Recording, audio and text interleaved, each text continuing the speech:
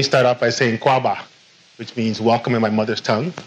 And I thought it'd be a great idea for us to share Black history from a different perspective. An encouragement of my communications department. Where are they? They're all hiding somewhere.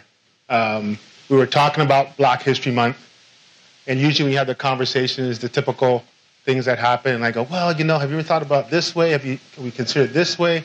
And we said, you know what? Let's start a conversation so we can have an inclusive conversation, but integrate it and have people have different perspectives around it. And they seemed to like my perspective around it, and I said, okay, well, I can do some conversations around that. And so tonight I've got uh, about 80 different slides I'm no, I'm just joking. I've tried to condense it down because you know I, I, can keep talking at times, so it can be really succinct. Um, but really, what I wanted to do is to prompt um, some thinking, right? Some metacognitive analysis around Black history and how it connects to the world. And so that's how I'm going to kind of uh, share my thoughts, and hopefully that'll resonate with you a little bit, and you can go back to your own jurisdictions whatever you do, and, and have uh, continued conversations, and it'll permeate through our um, our district and our community as well.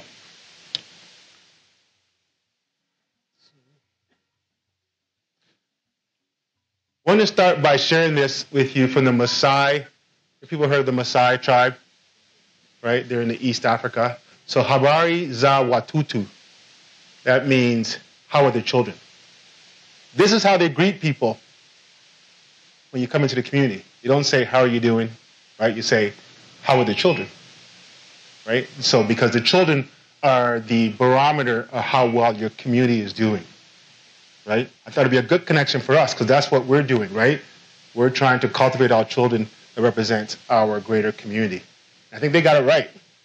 They've been doing that for centuries. You know, you come travel from far, you say Habari za Watoto, how are the children? And that gives you um, a barometer of how things are going.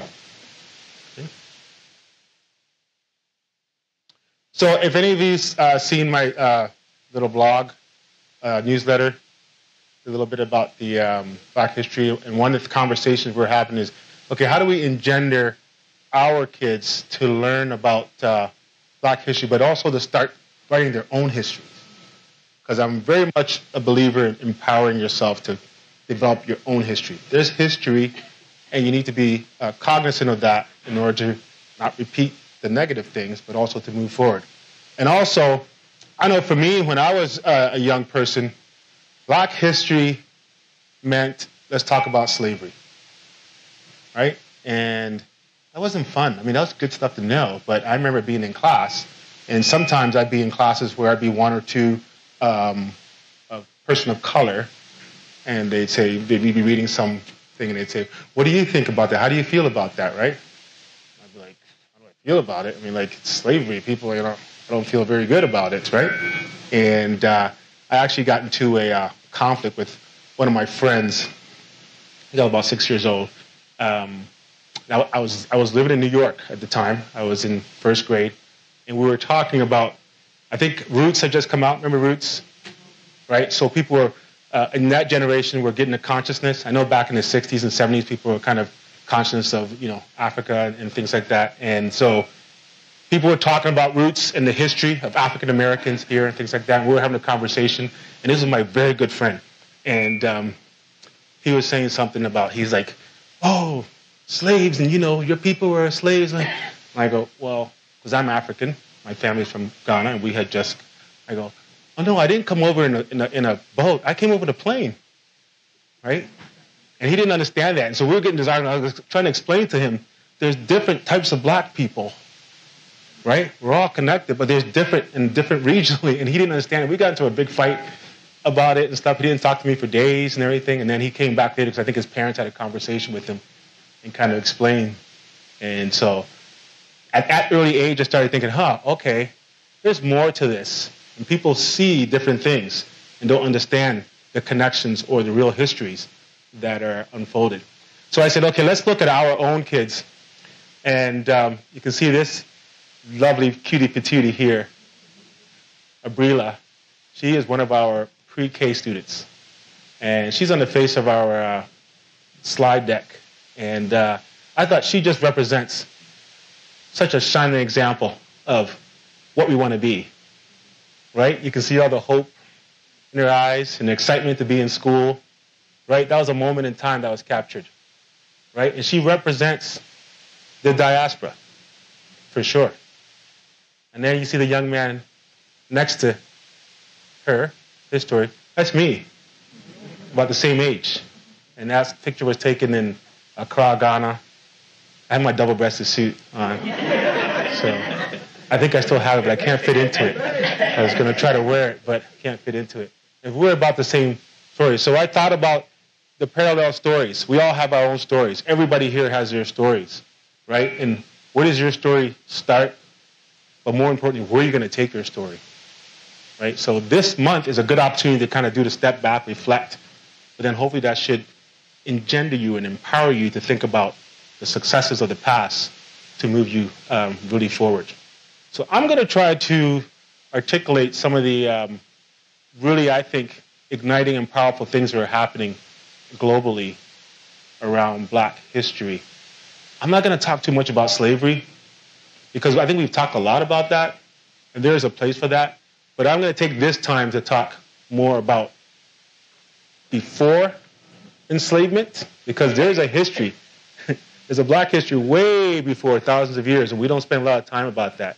You know, I remember when I first started studying ancient history, I learned about the Greek mythology and the Roman Empire and things like that. Um, but you don't spend a lot of time in North America talking about the other histories. And that's what we're striving to become inclusive. So I'm going to do my part and try to share, um, at least from my perspective. Once again, it is my perspective. So everything I say is right. All right. So let's start off with uh, the father of uh, Black History Month is uh, Carter G. Woodson. And I, I, know most of you know this, but I thought this would be a good place to start, just to have a... February officially marks Black History Month in the U.S. It is one of the nation's oldest organized history celebrations, which highlights African American achievements and their role in U.S. history. It was started by Carter G. Woodson, known as the father of black history. Woodson noticed that African Americans and their achievements were excluded from books and schools in the early 1900s. The son of freed Virginia slaves, he earned a PhD in history from Harvard and came up with the idea of Negro History to encourage black Americans to know more about their own history. In 1915, Woodson founded what is known today as the Association for the Study of African American Life and History to promote black history. Woodson chose February for Negro history because it coincided with the birthdays of President Abraham Lincoln and Frederick Douglass, who escaped slavery and became a social activist. As celebrations were ongoing, Woodson promoted the week as a time to focus on African American history. The first Negro History Week was announced in February 1926. Negro History Week was widely successful, but Woodson felt more was needed.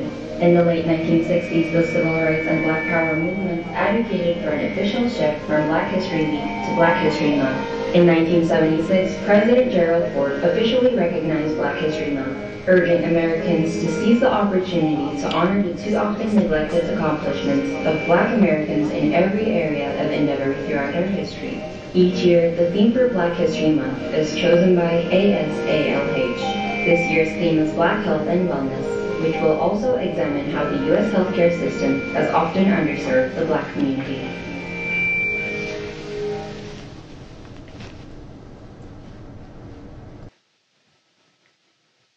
Okay, I think I know why that wasn't working, Julian. That was uh, a different, shorter version of the video.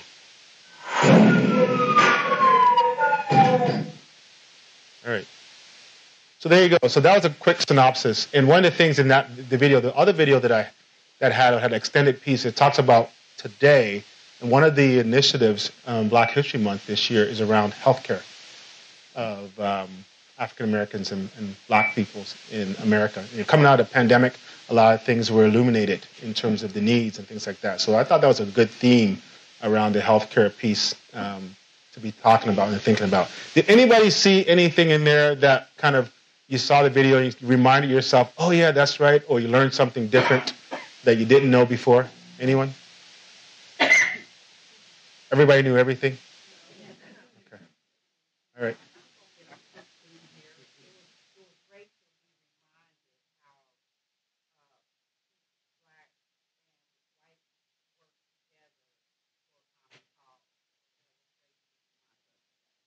Absolutely. I think a lot of people don't. I've heard people say, "Oh, we got gypped because we got the shortest month in the year for Black History." But and I have to set them straight. No, he specifically chose this month for those two. That's right because of the uh, those two things, right? I didn't know that. You didn't know that? There you go. Miss Venus, you're shaking your head. No, I was, I was agreeing, I didn't know. Yeah, yeah, because that's often the thing. If people say, "Oh, why we got the shortest month?" You know, I say it too, and I know, but it's just it's fun to say, right? right. Um, but those are the facts, right? In terms of why it was it's chosen. Anybody else before we move on? No. Okay. Let me. So, one of the things I wanted to kind of uh, emphasize is that Black history is African American history. It's world history, right? And one of the things, you know, Carter G. Woodson started this education from the week to a month. And you would not believe across the world they celebrate Black History Month because of African Americans, right? And everyone's kind of taking a different spin now, right? They all started following the exact same scripts that we have here, but now different countries are doing their own little bits and also starting to discover, oh my goodness, these are the contributions of black people from diaspora in our country, and acknowledging that, going way back, and also in contemporary times. So I find that fascinating because when I travel around the world, I look for little pieces like that, and you see the evidence of it, and you also see the historical pieces, and I go, we're never talking about those connections, right? I remember when I was a kid, every Black History Month, we did Martin Luther King, Rosa Parks, you know, it was this, okay, all right, now, okay, that, now what? There are other things that we've contributed in um, this society, right? So let's take this journey. I talked about uh, Black history around the world, and uh, in Japan, they do it. Of course, the U.S., in Britain, Brazil, in Canada, they all have uh, Black History Month, and they have their little twist on it as well. It all started the same the same way as uh, we do it here, but they now countries are starting to now take their own and examine their own uh, practices, and also having a social justice bent on it. Right? How are we treating people of color in our country based on that? And um, I think it's it's fabulous, and we need to educate our kids.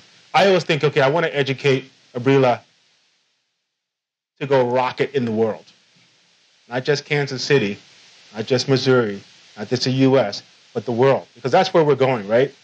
We're global, right? And I know people who, on their laptop, they work overseas, right? They're back and forth here and there, and um, that's what we got to prepare our students for it and to be educated. So in England, um, they have the same sort of Black History Month and cover some of the same topics, but they've now kind of shifted, and their focus is around um, Caribbean community because that's a large population there. That's why that flag there, it's a half flag, kind of Jamaican flag, Caribbean colors, and the British flag. And so they talk a lot about the contributions of the Caribbean um, in Britain because, of course, the Caribbean um, islands are colonies, were ruled under Britain, and they had there's lots of history that goes back in terms of the influence of people there and where they've they've come and gone. One of the things I would talk about is they call the uh, the uh, Windrush group. So back in 1940, uh, His Majesty's ship would carry uh, immigrants from the Caribbean to Britain, and that's been going on since till like the 80s. The ship would bring, you know, because they're part of the, colonies, and they would come and they would live in Britain. And so, what happened to that first group is, of course, they felt a lot of discrimination. Um, they ended up fighting in the wars, so World War II. There were soldiers in the war. So now they look back at that history and the contributions they helped to build that country in the modern era, up to contemporary times in terms of all the different uh, pieces that are going through. Anybody go see the Bob Marley movie yet? So, see it? Yeah. So you can see, so you know, Jamaica is a is a British colony, and there's lots of uh, contact there. Um, I, any people have Irish uh, descendancy in their history? Yep. Okay. Yep.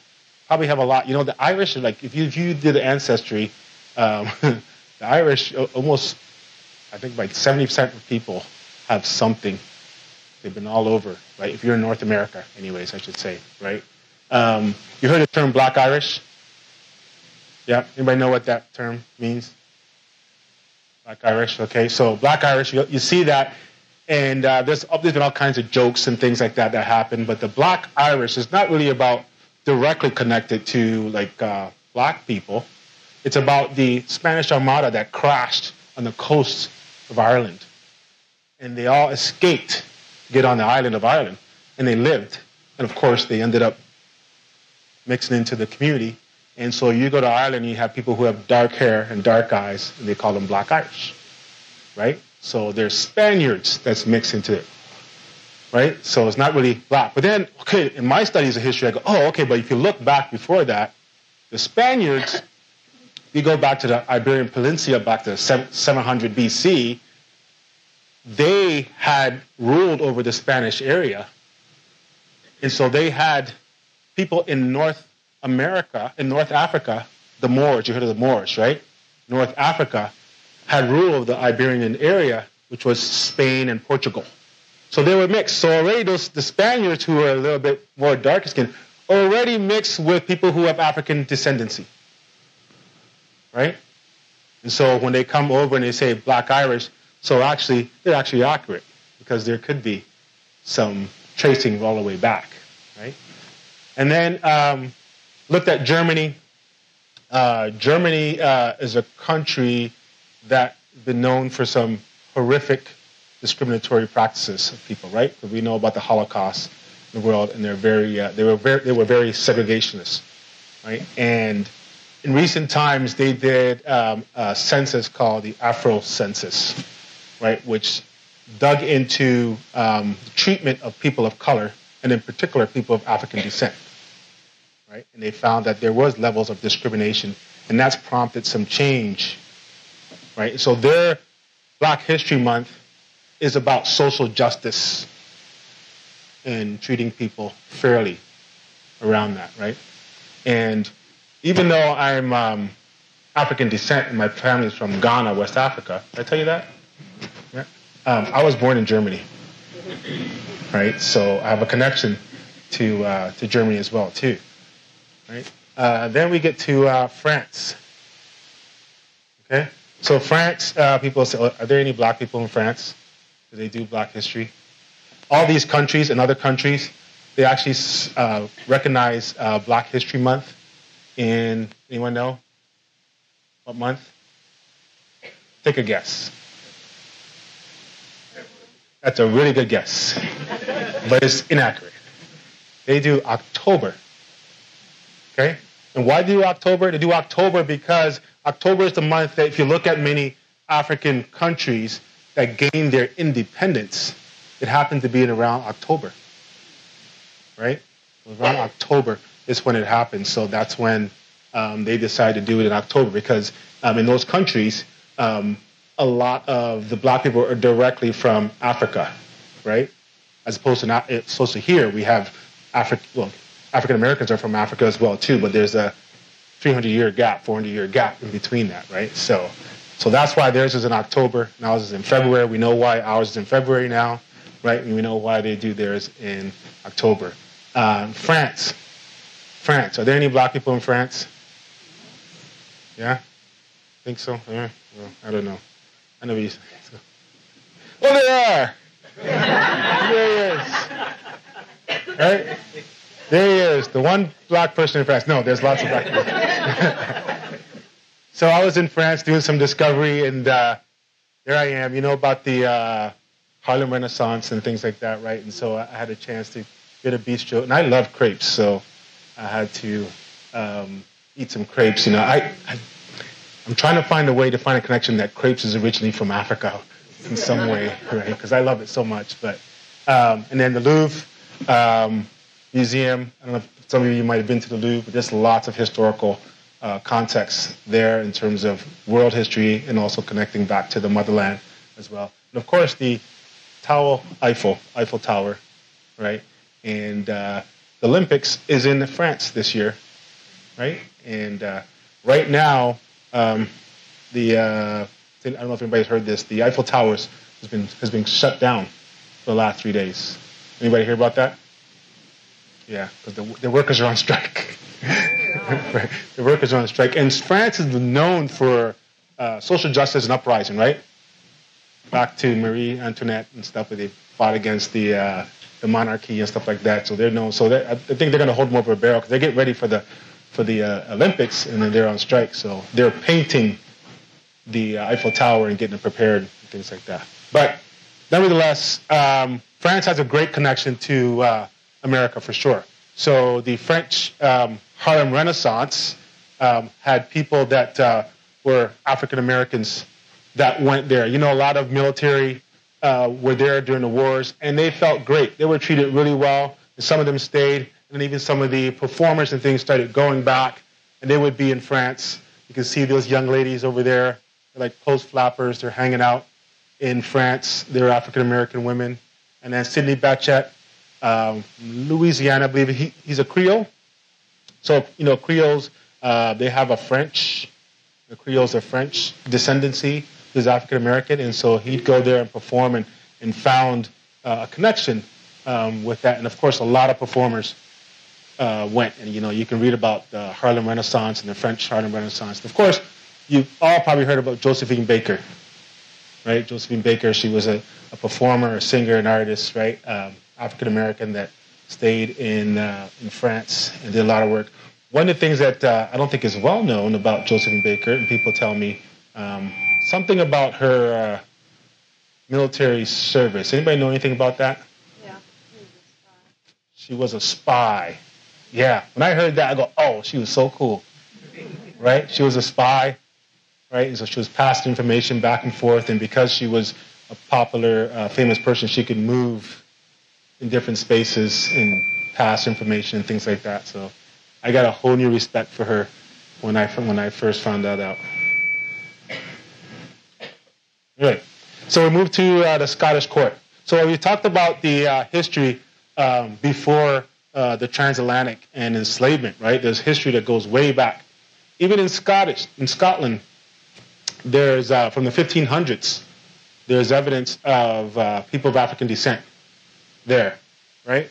Um, Peter de Morin, which is Peter the, the Moor, uh, this gentleman was a, a friend of um, King James. King James had given him money to travel to France and represent him and perform and carry information back and forth. So he was well respected and could move around. And he had a family and all kinds of uh, uh, intricate things that happened there. There's actually a book that's written by him by a Russian. Um, explains it's called him Peter the Great and talks about you know some of his expedi- expedites and things like that. Um, so King James married Margaret Tudor. Right? Margaret Tudor is the daughter of Henry VII. Anybody know the Tudor family? The Tudor family is the reigning empire right now in Britain, right? You know, Diana and Prince Charles, they're from the Tudor family. And you probably know more about Henry VIII, right? He's the one that chopped off all his uh, his wives and things like that. But that's the connection there in terms of um, the Scottish piece. But Margaret had um, three women in her royal retinue, which are advisors, women advisors, you know, women in lady, and they were um, African women, right? And um, so they're there, and they got to be in the court at the highest level with the queen, right? And mingle around and advise her and and uh, share information. And of course, they would have probably picked up the French language and the in the Scottish. This is Scottish Scottish language. Be able to. Uh, anybody seen the uh, the uh, show Bridgerton? Okay, so that's not too far from Bridgerton, right? Because you're like, oh, okay. So there were uh, black queens running around talking gossip and making up stuff, right? So I had these shots here. Um, so there's a connection there.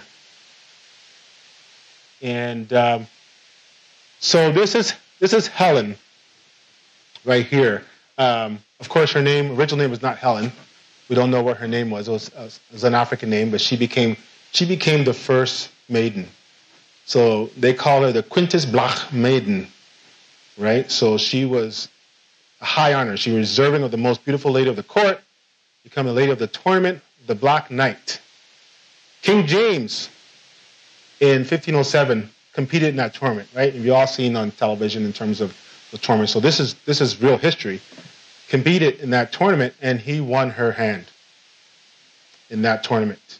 Um, so she was very well respected um, in her stature and some of the things that she did. And so she rose from being a handmaiden to being designated uh, the queen of the tournament. To the extent that people have written about her, written songs, written books. Uh, William Dunbar wrote a poem of Anne of Blackmore, right? Because she was a Moor, right? And uh, that really immortalized her history. The only thing about what he wrote was it was a little discriminatory. Even though she was considered the most beautiful, the way he wrote about her was the description was kind of a little bit in a negative way, right? But at the same time, it became she became immortalized because she was. If you if somebody wrote about you, especially in those times, it carried times, right? People could read it, they could research it, things like that. Um, and so here I am. Um, they were in the Edinburgh Castle, right in Edinburgh, Scotland, and uh, I had a chance to actually go to the castle.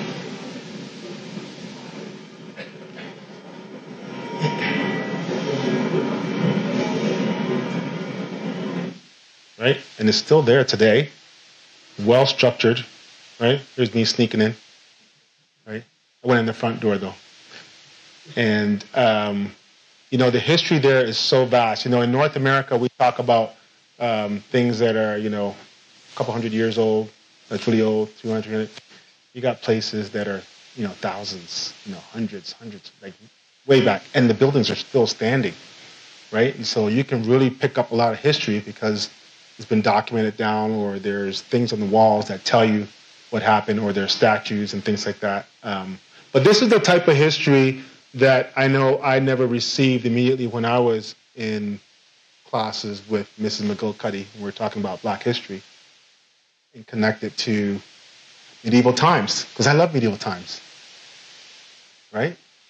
I love medieval times. They give you a steak and a mug, and you can call the waitress a wench. You can, it's all right. I would have soaked up the literature so much if they could have engaged in that. So I hope we are finding ways to engage our students into. Um, think about the uh, young men, maybe women as well too, who would enjoy learning about knights, right, and how that plays into you know courtesy and manner, and also chivalry and honor.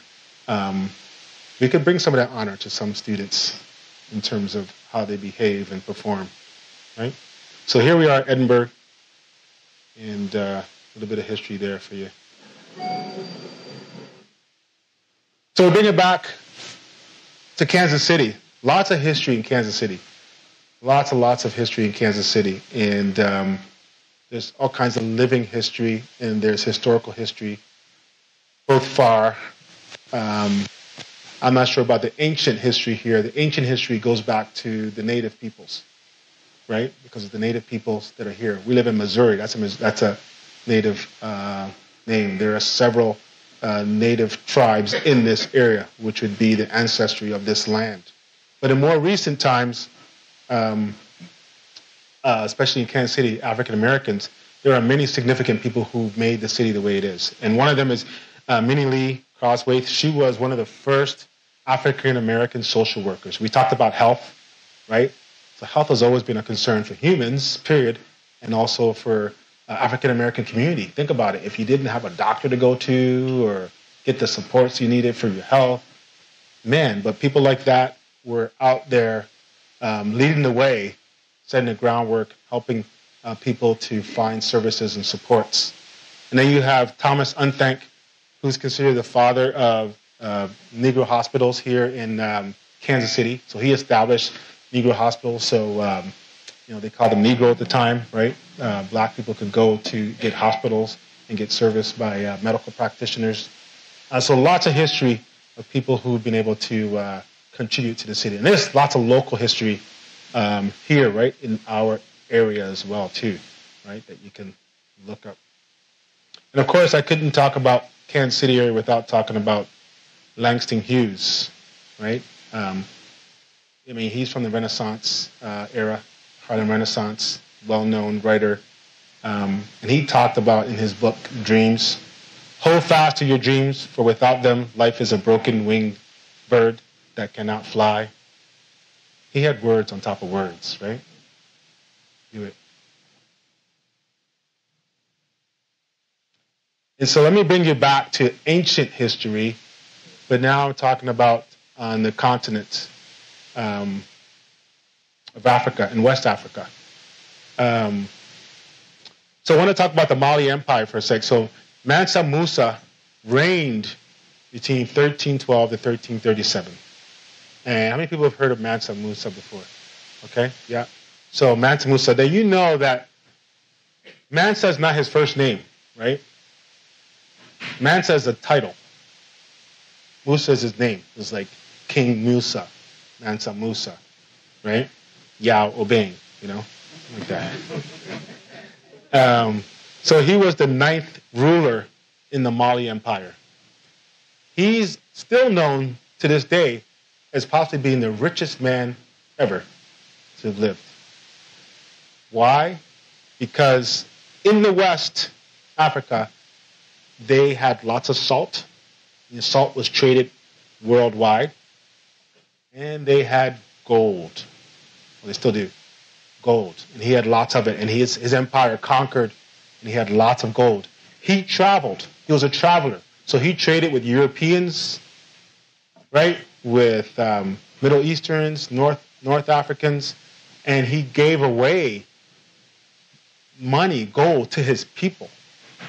So he was a very giving leader. So he was able to build up a lot of support. So he's well known the Mali Empire for helping during that period to kind of build, bring it up to his prominence. Um, but he's known as the richest man in the world. You were able to, the amount of gold he had, um, no one would have that much uh, nowadays, right? If you could translate that. But that was in the Mali Empire. Right? So he traveled, and one of his travels, um, he traveled all the way to Timbuktu. Right? You've heard of Timbuktu. I always loved Timbuktu. I've never been to Timbuktu. I'd like to go someday to Timbuktu, just because that's I can say I went to Timbuktu. Right? Um, Timbuktu is a famous uh, spot, um, and it became famous and has been synonymous with um, voyages, because to get to Timbuktu, it's quite a trek, right? And so a lot of the European travelers, when they came and explorers and things like that, and um, they tried to get to Timbuktu because it was a place for trade and stuff. Sometimes you could, and sometimes you could.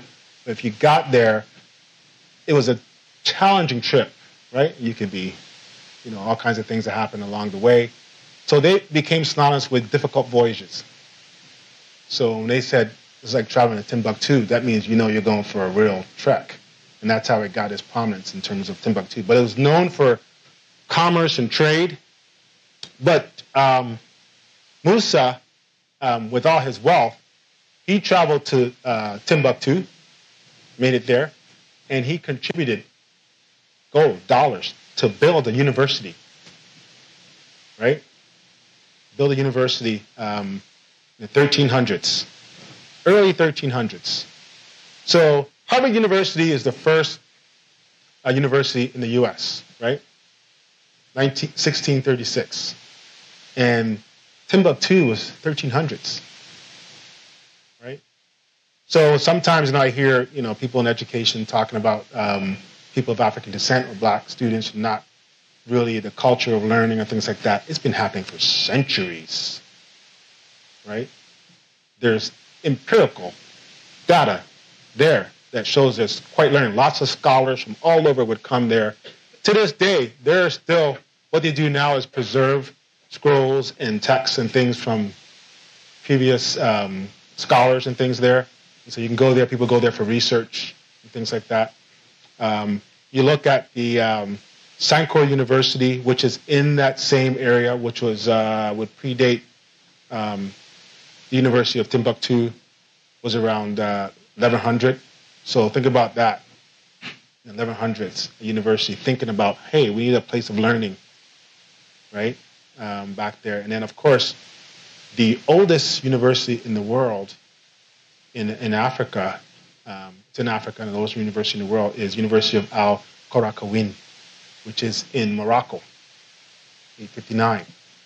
So there's been a history, a history of acquiring knowledge and learning, right? That our students should learn about and understand that this is nothing new, trying to learn. I bet they still had the same challenges back then with kids on iReady. Because humans don't change. But there's the, there's the history of learning that's happening, and, and to this day it still uh, continues. Um, you know, even when you talk about um, in that region in terms of learning, you know the um,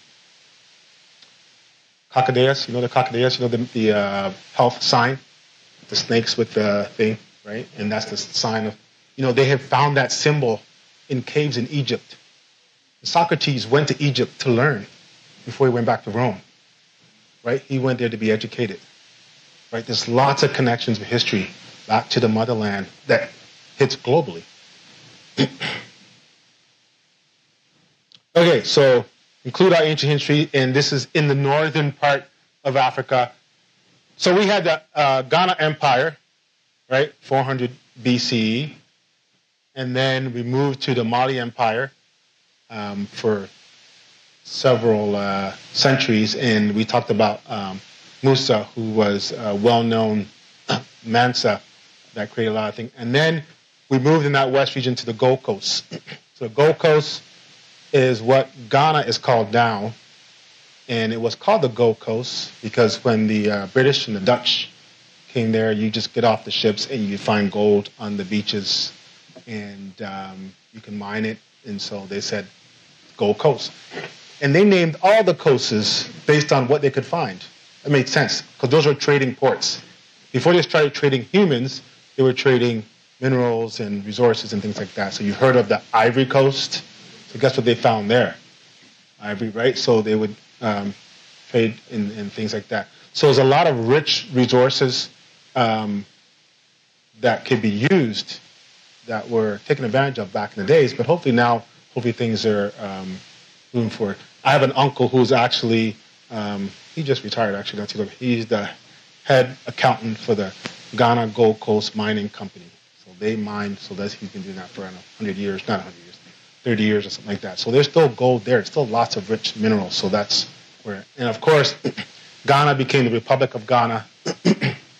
yeah, on the 6th of March, 1957, and they gained their independence from the British, right? And Kwame Nkrumah was the uh, first uh, president who um, brought liberation. And um, they have the found, they have the founding fathers as well too. On the money, there's about five or six um, uh, gentlemen on there, and actually Nkrumah's um, grandson or something was is in politics now, and so that's that's quite a legacy in terms of um, him being there. And so that brings you full circle, and let me.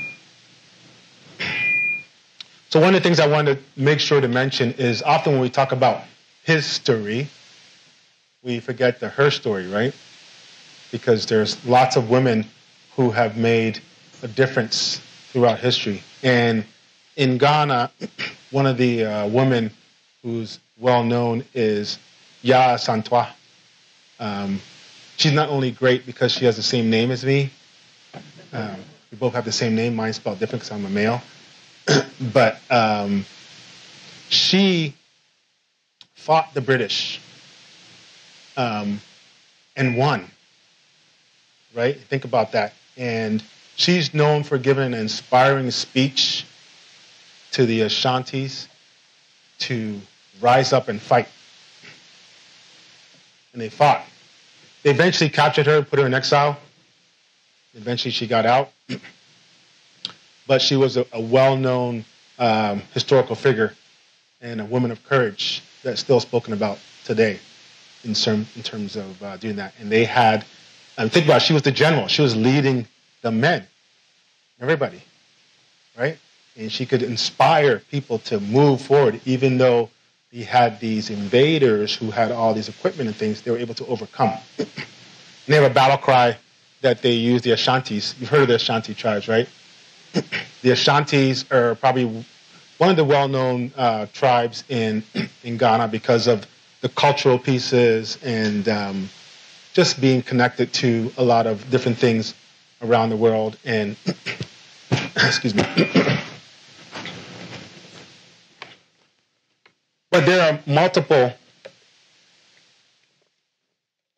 tribes and dialects, like many dialects. If within one language, it could be multiple dialects. You can go from one village over here, have a slight dialect different. But the Ashantis um, are well known, and my mother would say that they're the best tribe, right? Why?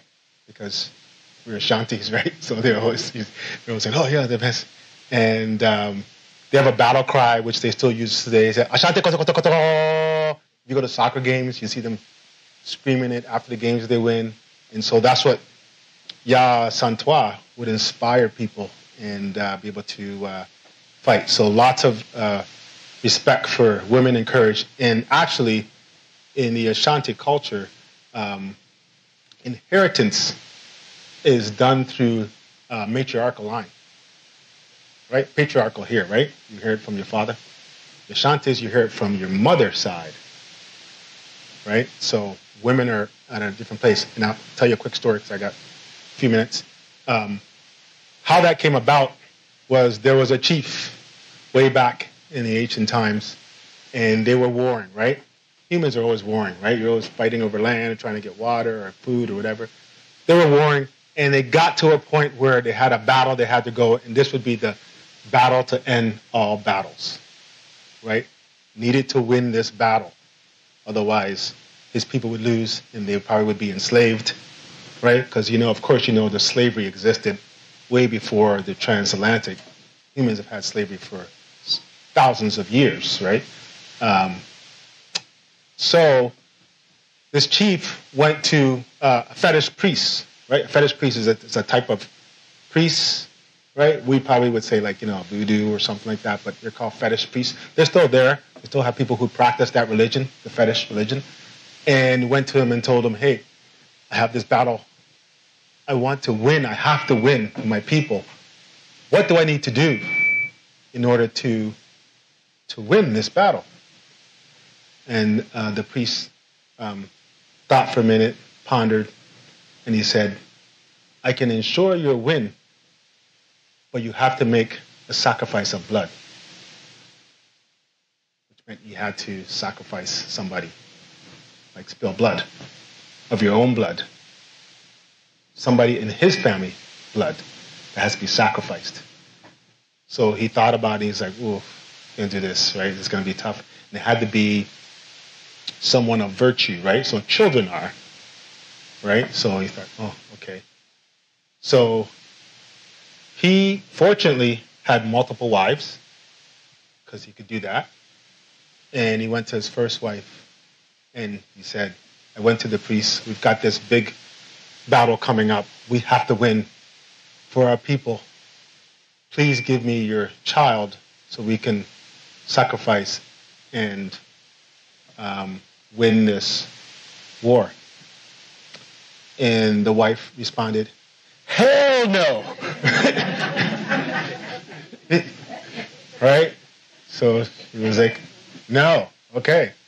So then he went to the second wife. Um, same thing, told her, okay, got this battle coming up. I went to the priest. The priest said, I have to sacrifice my own blood. Please give me your child so I can sacrifice and we can win. And the second wife said, Hell, hell no. right? Then he went on to his third wife. And at that point, he had, he had a loss. He said, What am I going to do? and he was just just thinking what he could do. And his sister came in and said, "You know, brother, what is what is what is bothering you? What is wrong?" He said, "I have this problem. I have to win this challenge." I went to the fetish priest. He told me how I could win this um, this battle, but my wives will not, you know, give me their children to sacrifice to spill the blood in order to do this. So the sister said, Well, I love our people and I love you. I will sacrifice my child for the greater good of the community. So she gave up her child, and the child was sacrificed. They went on to the battle. He won. Was victorious. He was victorious. And so when he came back, he said, As of this day, any inheritance that is left from a man must go to his sister's children. So then that started the matriarchal lineage of inheritance from your mother's side as opposed to what we're used to, the father's side. Right? And uh, nowadays, um, people still practice it um, in, in, some sense. They often go to what's called a, um, a lawyer, you know, and write up a, an agreement, uh, agreement and stuff like that. But people still do practice. There's a lot of things that are done on matriarchal um, lines. Like even if you're naming your children, you should name your child one of their middle names after your after your mother's side's somebody in their name into their name so that you know it honors that. And people still do um, um, pass on inheritance to the um, mother's side. I have an uncle who's a chief. Um, he's a chief in accra and he became chief because his mother um, his mother's line had the um, the access. So he got to be chief he over some politics, family politics. He overshot his older brother, who should have been, but he got it. So there's some stuff about that. But um, so he, but it came from his mother's side, not from the the father's side. So that's some of the uh, history there around the matriarchy um, in there. And of course, you've all seen the kente cloths, right? This is probably the typical um, one. Um, I forget the name. Um, the tree name for it, but this particular pattern, um, the name says there are no more designs. That's what that pattern means. There are no more designs. You wear that pattern for formal occasions, right? Formal occasion, something really formal, you wear that pattern. So I've got a little bit on here. Um, so that's. But there's all kinds of other patterns right? But that's the uh, that's the so when you see that, most of the time people say kente cloth, they show that, right? That's the one that they show, but there are other patterns. And I don't know if you've heard of the golden stool. The golden stool? So the golden stool, that's one of the reasons why Yaa Asantewaa was fighting British because they wanted the golden stool and some of the artifacts. and she said no. And they fought about it. The golden stool has significance because the um, the, the, the king, the chief, sits on the golden stool. And the history of the folklore, or the mythology, is that the first chief inherited the golden stool from the heavens. Right? It was brought down in the heavens, and people believe that it has the power and the soul of all the people of Ashanti within the golden stool. So if you sit on that, you are inheriting all the power of because people make up like wooden ones and things like that, but the golden one, actually made of all solid gold, is the uh, the one that the king, the chief, sits on and represents um, the people. So there you go. Now you have the rest of the story. all right. So um, the I have a um, a great board um, last year, I was talking about um, Ghana and Black history and how to make connections, things like that. And um, they inspired me to put out something, and they supported to doing a legislative trip. So I've got some legislators and others and board members that will go to Ghana for a cultural, educational trip. I know Venus wants to go, but no, yes, can't go. Um, and uh, so I want to show this little video that uh, we've done that represents the land and the um, and the people. And I'm hoping that uh, we were supposed to do it like last year, but we just didn't have time because we had stuff. So we- we've kind of postponed it. But I hope that we're able to do that, and hopefully, in one next Black History Month, we'll be doing a presentation and be sharing some of our experience. So here we go. This is the. Uh, All right.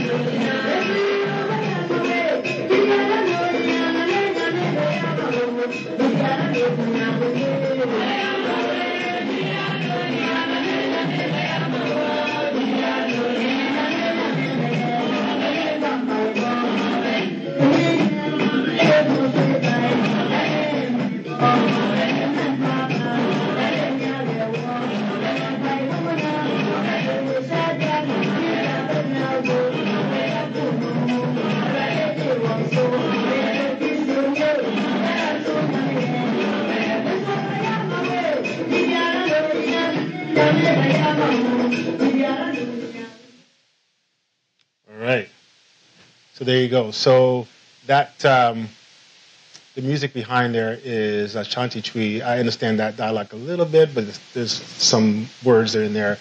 But basically, what uh, she's saying, she's showing the land, and she's thanking God for the trees, the food, the water, the land, and so I thought that was quite appropriate um, musical accompaniment to share with that.